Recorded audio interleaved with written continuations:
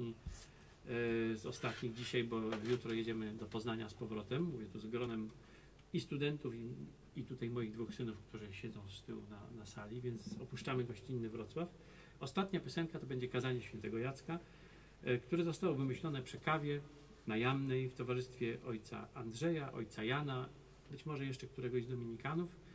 Spoglądając na Beskidy, snuliśmy taką refleksję, co należałoby zawrzeć w kazaniu, co święty Jacek